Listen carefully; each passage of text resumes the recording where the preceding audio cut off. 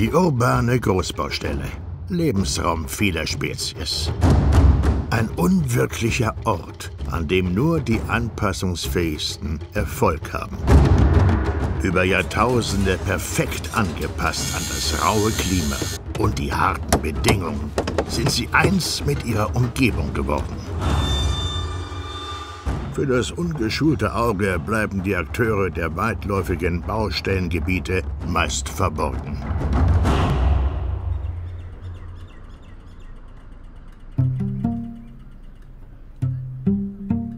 Erst die Nacht bringt einige der erstaunlichsten Protagonisten dieser ganz eigenen Welt zum Vorschein.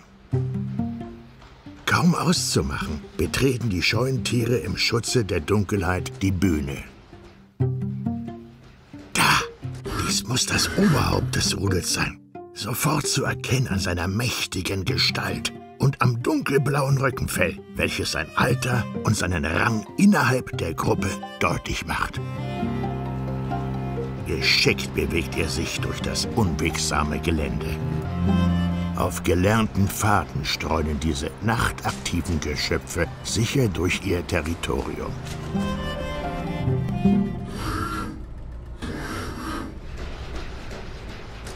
An fest definierten Positionen erstellen sie instinktiv Punktwolken, messen und vergleichen. Die geschickten Jäger sind in der Lage, selbst kleinste Abweichungen von wenigen Millimetern in diesem sensiblen Lebensraum wahrzunehmen und Alarm zu schlagen. Hier jedoch drücken die lauten, piepsenden Geräusche Behagen aus. Ein Zeichen für das ganze Rudel, dass keine Gefahr besteht und alles in Ordnung ist. Revierkämpfe sind an der Tagesordnung. Das prächtige Leittier legt sich mächtig ins Zeug, um seine Artgenossen mit äußerst kreativen Balzritualen zu beeindrucken.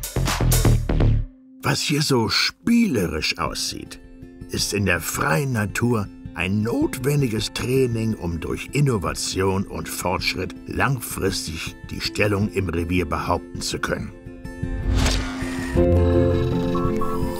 Mit ihren teilautonom erstellten Baustellendokumentationen sorgen sie für Stabilität, Qualität und Sicherheit in diesem so empfindlichen Ökosystem, bei dem jedes Detail so wichtig ist für den Erfolg der ganzen Gruppe.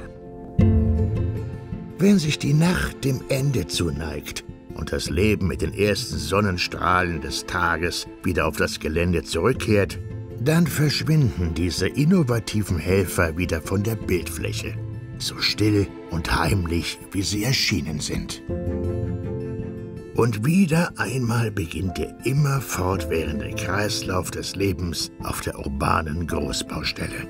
Ein geschlossenes System aus Spezialistinnen und den Technologien von morgen.